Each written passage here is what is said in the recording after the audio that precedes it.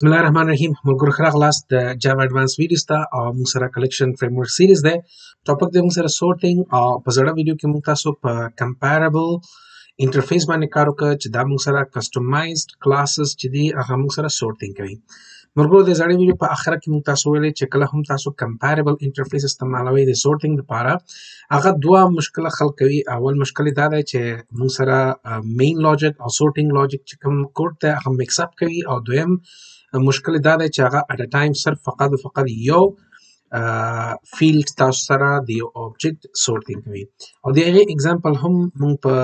اکلپس کې کار وکړ چې د هغې کوډ تر اوسه پورې ما سره پروت دی دا ما سره ټیسټ کلاس ده او دا ما سره کسټمر چې کوم کلاس و دا هغه به ما سره صحیح دی ملګرو د هغې لوجیک دلته پروت دی نو ملګرو راځو نن نن موږ تاسو په کمپریټر باندې کار کوو لکه څنګه چې په زړه ویډیو کې ما تاسو ته ویلې چې ټو اوورکم دیز ټو پرابلمز موږ په کمپریټر باندې کار کوو نو کمپریټر نیکسټ آبجیکټ دی آی مین نیکسټ سلایډ دی ما سره دلته کې سورټینګ آبجیکټ ډیټا کمپریټر انټرفیس دی نو کمپیریټر انټرفیس بیلونګز ټو جاوا ډاټ یوټل ډاټ پیکج دی دا د جاوا ډاټ یوټل پیکج سره تعلق ساتي ملګرو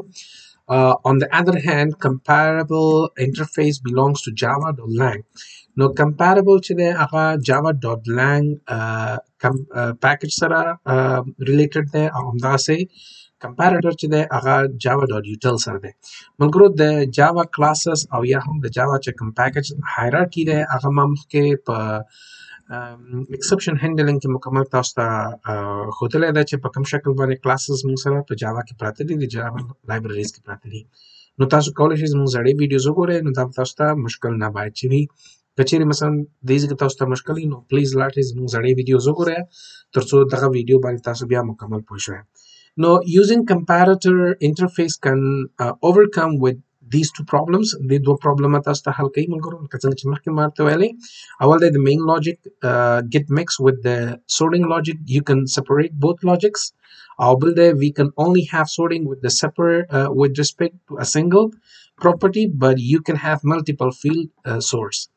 صحیح ده کنه سورټ می نو زه راځم دلته څه کار کوم سم په راځم اکلیپس ته جمپ کوم او آلته به څه کار کوم ګورم زه به دا کلوز کوم دا ټیسټ ما سره بیا کسٹمر ده زه به راشم دلته کې یو بل کلاس واخلم نیو او دې کلاس ته واخلم چې ټیسټ 2 دا ما سره ټیسټ 2 کلاس ده او دې کې به زه مین فنکشن واخلم نو دا ما سره یو څه شی دی ټیسټ ټو کلاس دی دې کې ما سره مین فنکشن دی او همداسې به زه راشم رایټ کلیک یو بل کلاس به واخلم د کمپیریټر دپاره دلته به زه ورته چې کلاس او دا ځل ته په مخکیني کمپیریبل دپاره ما کسټمر اخیستی دلته زه کولی شم چې واخلم سپوز زه واخلم چې بوک مې واخیست دا به زه بوک کوم بوک ما سره نشته کلاس بالکل نو زه به دا بوک کلاس کوم نو فینیش مې کړ او بوک کلاس ته راشم ورته وایم چې آی ډي ده نو زه به ورته وایم چې آی ټي آی ډي صحیح دی بل به زه واخلم سټرینګ بوک نیم او همداسې به زه واخلم بل سټرینګ بوک آتر زه به واخلم آتر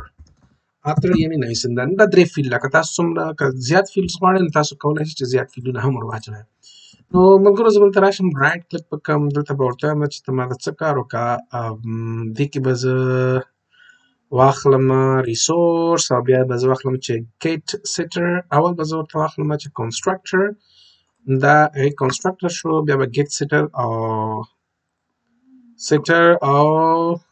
ګیټر به هم زه ورته سپیسیفای کړم دا مې سپیسیفای کړ دا هم وشو نو دا ما سره کلاس تیار شو د بوک صحیح مګرو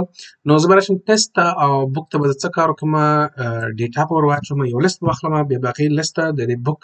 ډیټا یعنې د بوک آبجکټ ور پاس کړم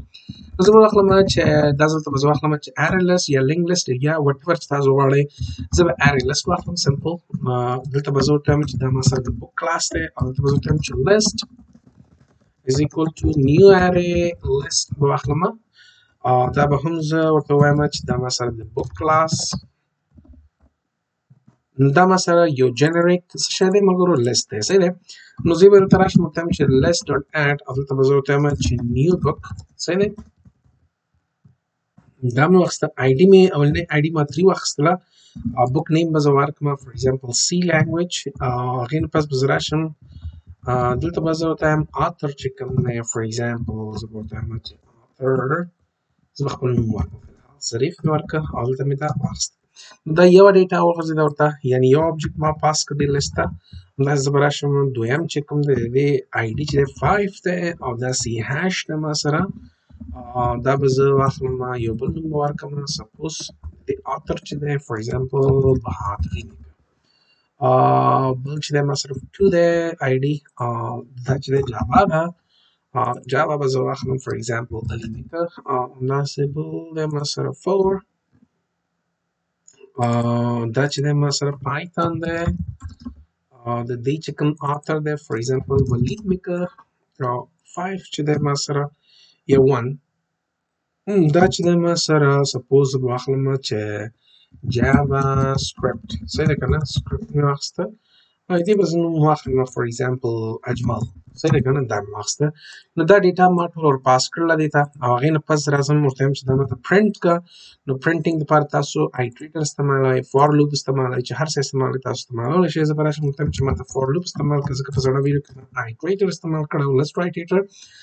نو زه دلته وایم چې بوک آبجیکټ ان لیست سي ده کنه په لیست کې او هغه نه پس بیا راشي چې ورته وایم چې ته ماته سس اوټ کوه او دلته به زه ورته وایم چې آبجیکټ ډاټ ماته څه کار کا آی ډي او پلس زه دلته ورته واخلم چې دا سپریټر ده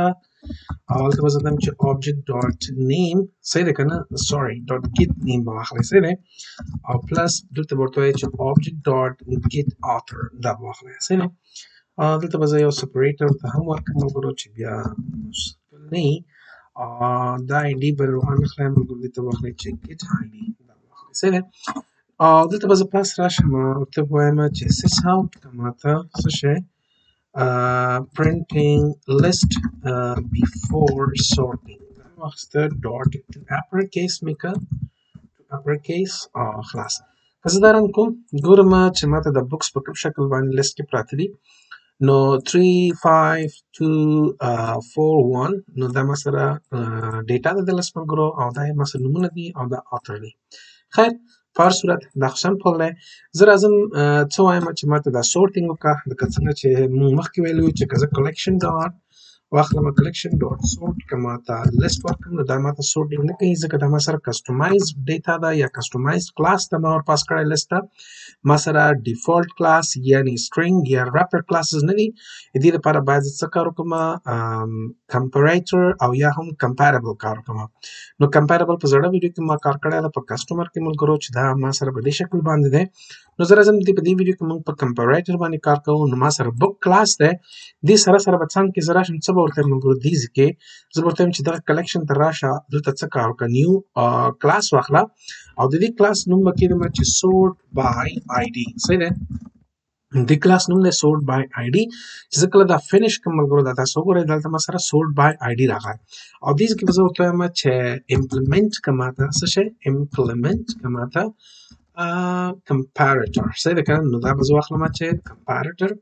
کمپاریبل دی او بل دی ما سره کمپارټر دا یو کلاس دی د کمپارټر یو انټرفیس دی اصل کې کمپارټر په نوم باندې دا به تاسو انټر کړئ چې دا مو کله انټر کړئ ملګرو دلته تاسو ته وایي چې دا آیا جنریک دی که نن جنریک دی اس تاسو خپل مرزي ده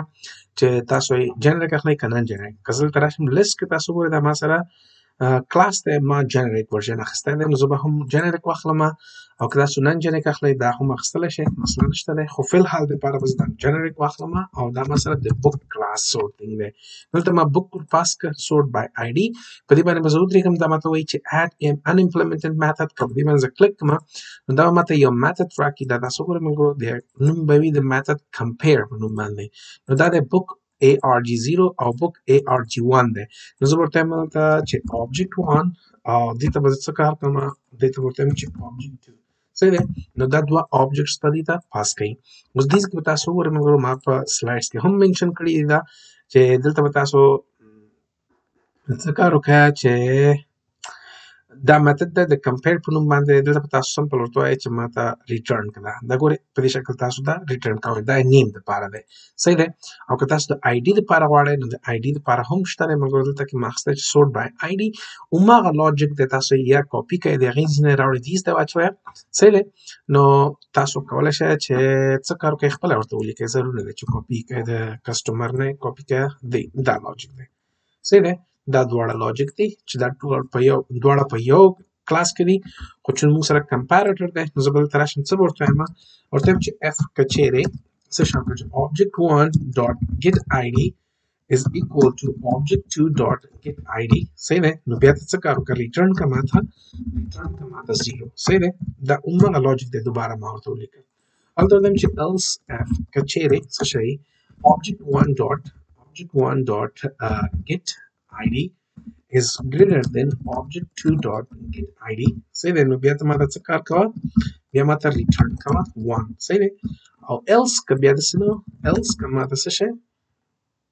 کم اون ریټرن ته ماته وان ایلس کني نو بیا ماته څه کار کوه ریټرن کوه ماته ریټرن کما ته ماینس 1 دا مې واخیسته نو دا داسې وګورئ مګر څومره ساده سمپل آی ډي سورټ بای آی ډي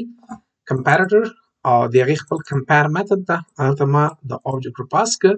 امین د لاجیک ما ور پاس کړ او هغې نه پس راځم ټیسټ ټو ته او دلته به زه اوس ورته وایم چې ته ما ته څه کار وکړه سورټ دا ګورې کلیکشن ډاټ سورټ هغې نه پس به تاسو دلته لیست واخله او بیا کامه او نیو څه شی سورټ بای څه شی نیو سورټ بای آی ډي صحیح ده دا به تاسو واخلئ دا تاسو وګورئ ملګرو سورټ بای آی ډي شو کمپیر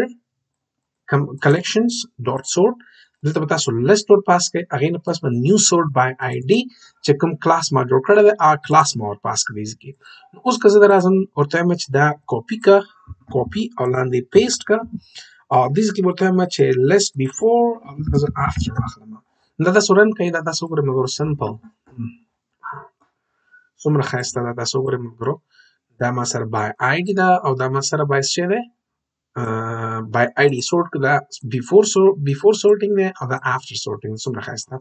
نو دلته که تاسو اوس غواړئ چې بای لیست آی مین بای نیم دا سورټینګ کوي مثلا کلاس او یا هم بای آثر سه دی چې مثلا علي دی اول راځي ځکه دا په ای باندې سٹارټ دی بیا ورپسې بی بهادری دویم راځي سی هاش ځکه په بی باندې سٹارټ دی که تاسو بای آتر نیم غواړئ تاسو کولی شئ راشئ دلته څه کار وکړئ یو بل کلاس جوړ کړئ اوس ضرور نه دی چې تاسو دا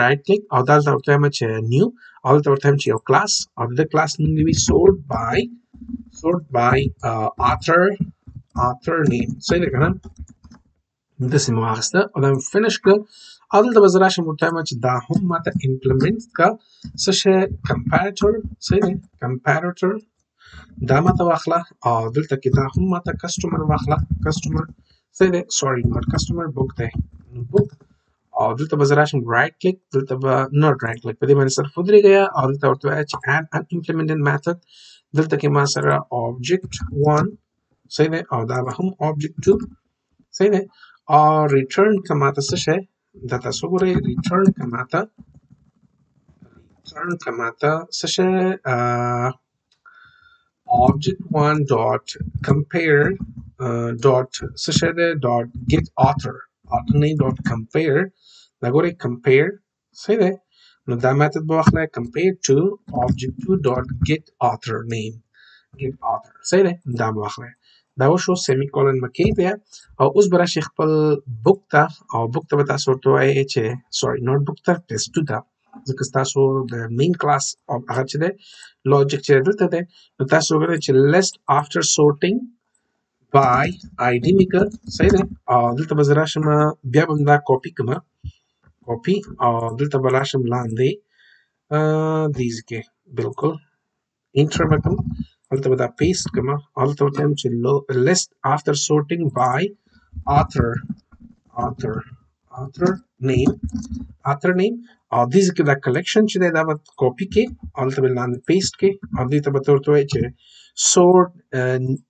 نیو سورټ بای آی ډی نه نیو سورټ بای آتر نیم دا به واخلئ او دا خلاص دا اوس ترنګ که ملګرو دا تاسو ور څومره ښایسته نو څومره چې اپلیکیشنز دی ریل ټایم اپلیکیشن دا ټول په دې شکل باندې سورټینګ کوي تاسو ګورئ ملګرو انسورټډ لیست دی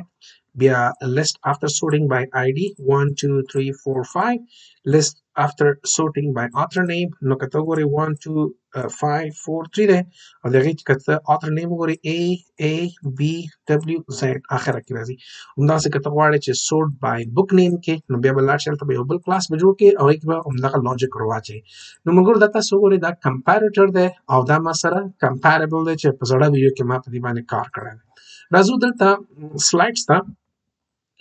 او سلایډ سي ګورو چې دا ما سره دغه مثالونه دي ملګرو که زه راشم دې ته په دغه سلایډ باندې که تاسو فوکس وکړئ دا ټوله په حساب د دې دواړو منځ کې څومره فرق دی هغه ما راټول کړی په همدغه سلایډ کې مې اچولی درته دلته وایي چې انټرفیس بیلونګ ټو کمپیربل او کمپیرټر دا کمپیربل چې دی دا انټرفیس بیلونګ ټو جاوا ډاټ لینګ پیکج او کمپیرټر جاوا ډاټ یوټل پیکج دا یو نه فرق دی دویم فرق دا دی چې کنسول string class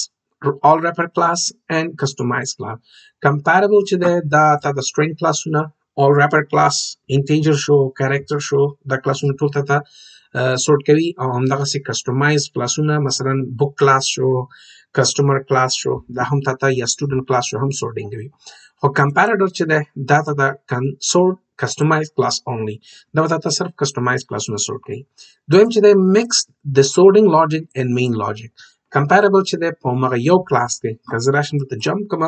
ما سره چې کوم کسټمر دی په سړه ویډیو کې مې ویلی دې ځای کې د سورټینګ لاجیک او د مین لاجیک د کلاس چې دی دا اړه مکس دی او دلته کې که تاسو وګورئ کمپیریټر ته کمپیریټر سپریټ سورټینګ ان لاجیک دی صحیح ده کنه مین سورټینګ ان لاجیک سورټینګ دلته کې تراشي موږ ګرو بوک کلاس چې ده بوک کلاس کې ما سره مین لاجیک ده د دې پروګرام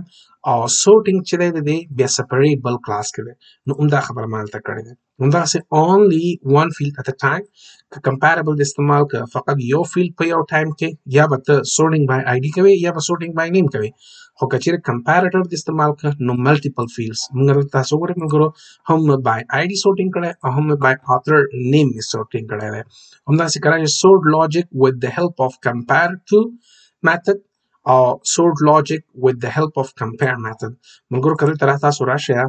کسټمر کلاس ته او کسټمرز کې ما استعمال کړی کمپیریبل دا کوم میتود استعمالوي دا استعمالوي کمپیر ټو میتود استعمالوي او که چیرې تاسو راشئ بوک کلاس ته او بوک کلاس کوم یو کوم یو میتود کوم یو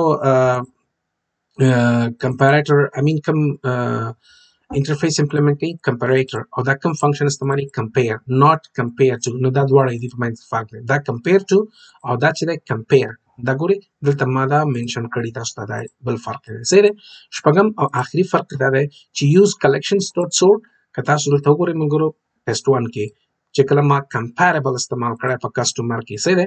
کمپاربل ما استعمال کړی نو چې کله دا سورټ کوم نو دلته کې فنکشنز ته کلیکشن ډاټ سورټ ډایرکټ مې لیست پاس کړی خو که چیرې تاسو څه کار کوئ کمپیر کمپیریټر استعمالوي نو د غیر لپاره بیا کلیکشن ډاټ سورټ اول مې لیست پاس کړی بیا غیر پاس کمپیریټر آبجیکټ یعنی د کلاس آبجیکټ ما پاس کړی څنګه دلته که تاسو راشئ ټیسټ ته ټیسټو کې تاسو ګورئ کلیکشنز ډاټ سورټ بیا مې خپل لیست ور پاس کړی او بیا مې